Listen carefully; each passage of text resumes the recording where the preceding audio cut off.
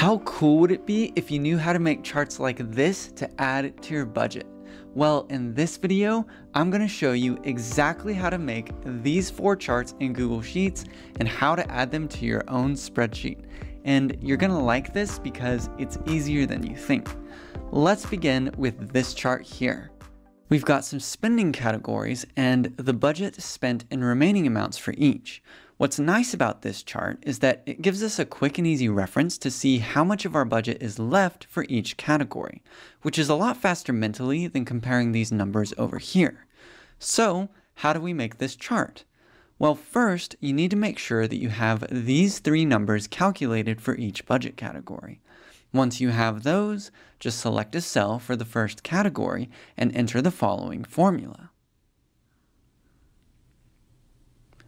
Here we have the sparkline function, which generates charts within cells. The first thing that we do is reference the data points that we want to plot, which are the spent and remaining numbers. Then everything else that follows are name value pairs that tell the sparkline function what type of chart to make. Here we want a bar chart, so we set the chart type to bar.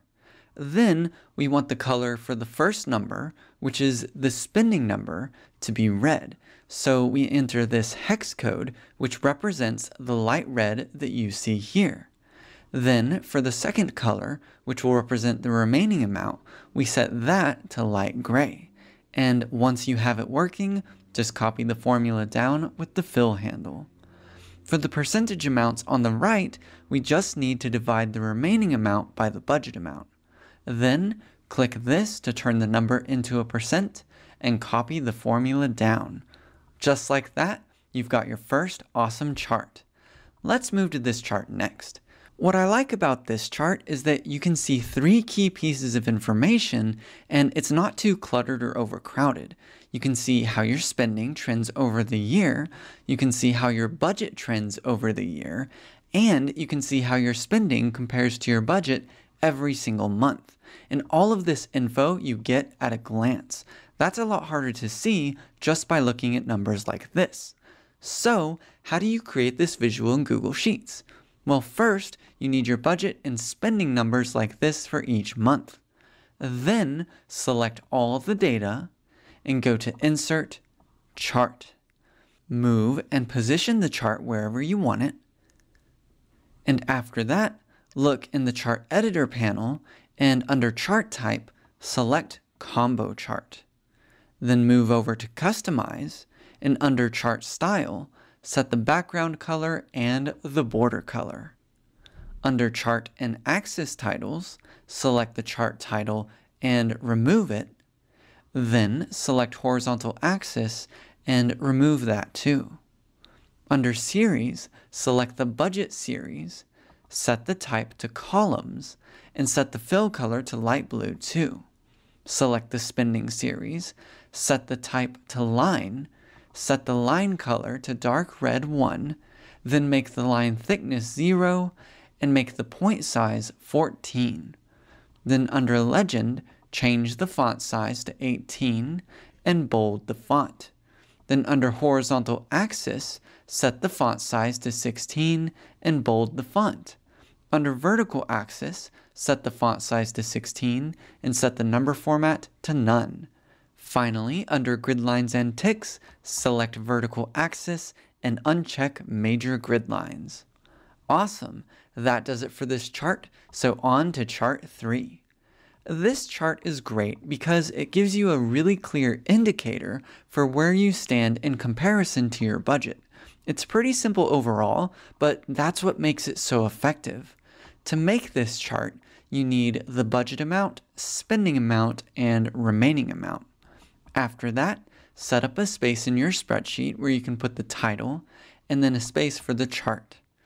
In the title space, merge the cells into one, add your title, then bold it and increase the font size. In the chart space below, merge the cells into one, and enter this formula, equals the spend amount divided by the budget amount. Then click this to turn the number into a percent and use these buttons to add or remove decimal places. After that, increase the font size, and change the font color as well if you want to. Now for the chart. Select the spending and remaining data and go to Insert, Chart. Position the chart over the space where you want it to be. Then for the chart type, select Donut. Under Customize, then Chart Style, set both the background color and border color to none. Under Pie Chart, set the percentage to 65% or adjust it to fit your specific design. Then under Pie Slice, for spending, make the color dark red 1. Then for remaining, make the color light gray 1.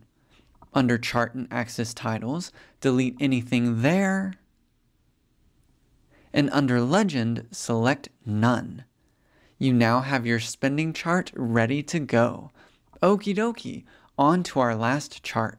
What's great about this chart is that you can see at a glance how the target amounts for each of your savings goals compare to one another, and you can quickly see the progress that you're making on each one. Honestly, this is one of my favorite charts. So, how do you build it? Well, first, you need to have your savings goals along with the target, saved, and remaining amounts. Once you have this info, select the savings goals, saved, and to-go amounts. Then go to Insert Chart, move and resize the chart to how you want it. Then under the Setup tab over here, for the chart type, you want stacked column chart. Then, over on Customize, under Chart Style, set the background and border colors. Under Chart and Axis titles, get rid of the title, as well as any horizontal or vertical axis titles. Then under Series, select the saved series and set the fill color to light blue 1.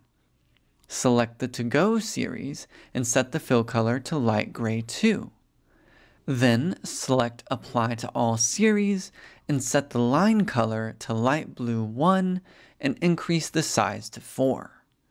Then under Legend, set the font size to 18 and bold the font.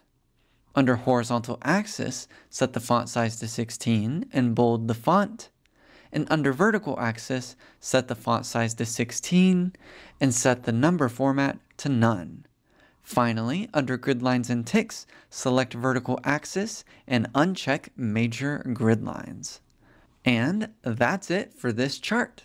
Okie dokie, now that you know how to build these charts in Google Sheets, how about actually analyzing your data to generate the summary numbers that you need to begin with?